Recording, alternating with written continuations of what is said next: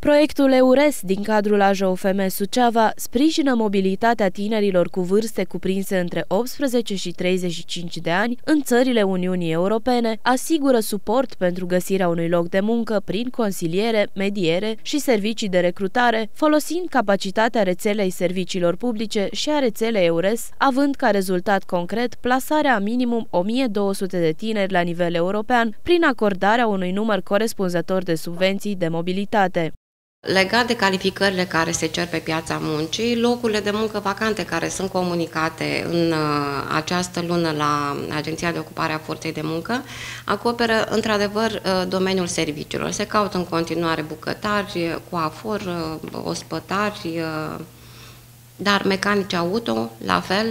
lucrător comercial, lucrător bucătărie, Uh,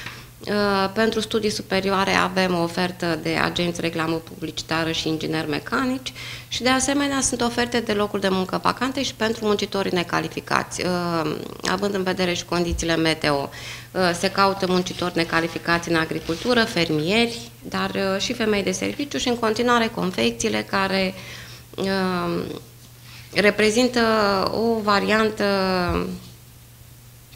în continuare ca și uh, opțiune pentru un loc de muncă. Momentan, în rețeaua EURES, țara care oferă cele mai multe locuri de muncă, atât pentru persoane calificate, dar și necalificate, este Germania. Cunoașterea limbii germane reprezintă un avantaj, dar nu este obligatorie. În ceea ce privește rețeaua EURES și locurile de muncă vacante care ne sunt comunicate în vederea ocupării și pentru care garantăm în ceea ce privește uh, respectarea uh, condițiilor oferite și promisiunilor făcute,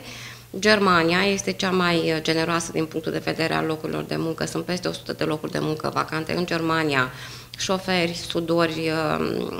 operator, stivuitor, electrician, asistent medical generalist. Aici chiar avem o ofertă de 50 de locuri de muncă vacante uh, și ca avantaj uh, limba germană, cunoașterea limbii germane constituie un avantaj, dar nu este obligatoriu. Se caută și factori poștali, îngrijitori persoane,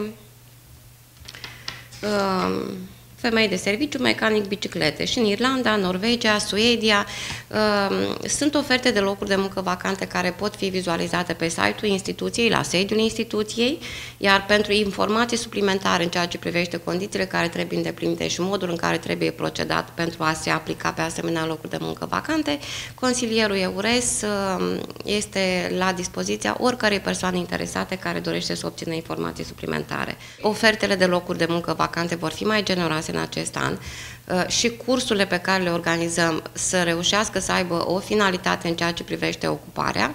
și uh, sper să reușim, uh, în special în privința tinerilor, a absolvenților, care reprezintă o prioritate pentru anul 2016,